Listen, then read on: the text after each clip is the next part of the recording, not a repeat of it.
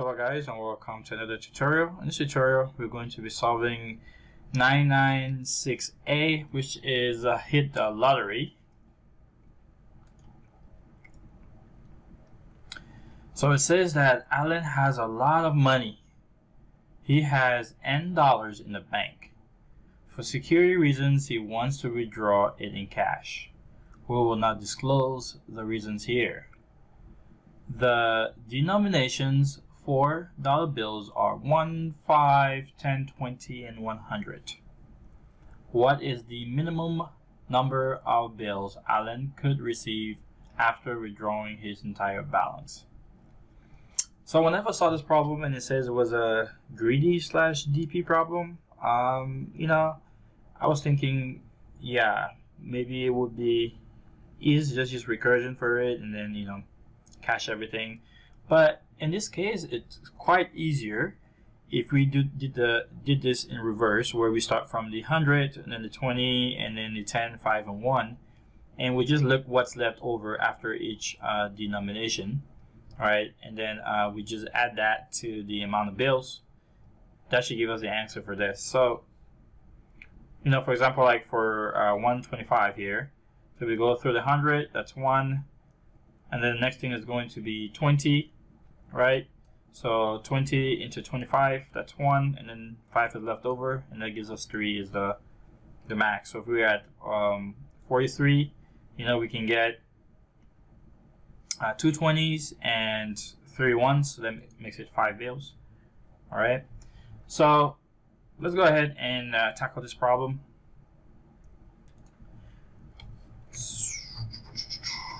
So we're going to include uh, stdio.h. I think that's probably all we need. And we could do a typedef here of uh, let's do unsigned let's do long long uh, int and let's call this one ull.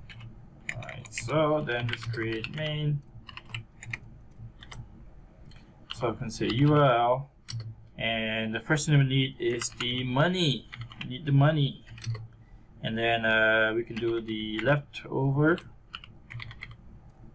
uh, after uh, denom the denomination. Right? And then we need the uh, number of bills. Uh, we can set this to zero. So zero U. All right, so we can start with the uh, 100 bill and then go to the 20 bill, 10 bill, 5 bill, and for the ones we just add the whatever is at the one. So you're gonna do, let's do, uh, so leftover after nominations is going to equal uh, money, right, mod 100 ULL or LLU. Alright, and then what we want to do is take the number of bills. So uh, number of bills is going to plus equal to, we're going to do um, money, right, divided by 100.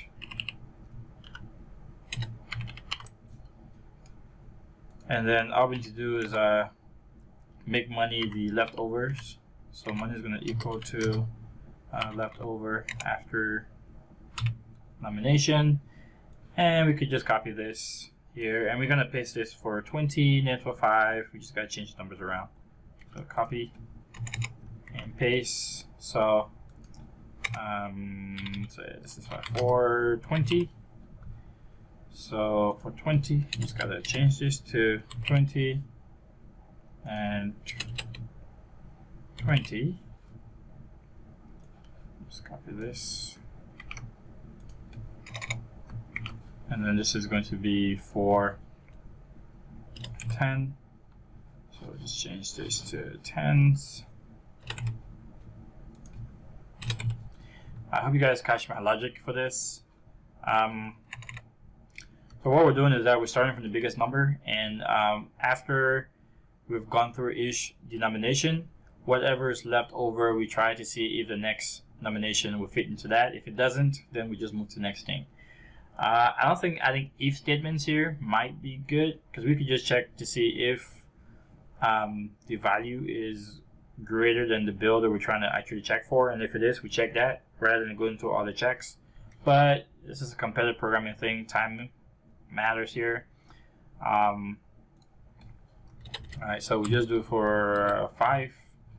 So let's change this for fives. Uh, all right, so after fives, we just have one. So whatever is left after this is just going to be for one. So um, for one, all we can just do is say that uh, number of bills, because we're at the end, we don't need to actually check for once. It's going to equal to the amount of money. Right. At the end. Um, then uh, we just need to print out the uh, number of bills. Percent value. Uh, number of bills. Let me see. So,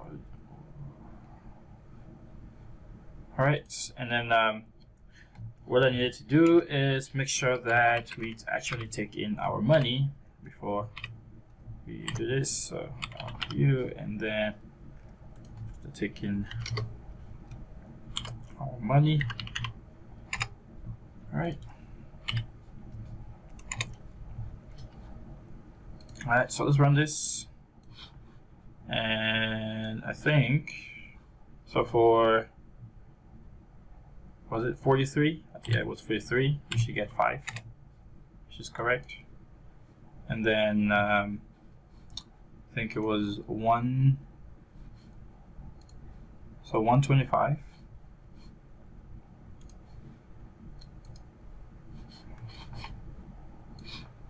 So for 1, 2, 5, she give us 3, which is correct.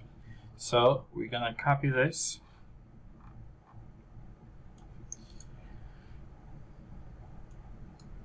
And go back here to Codeforces, submit, uh, paste it,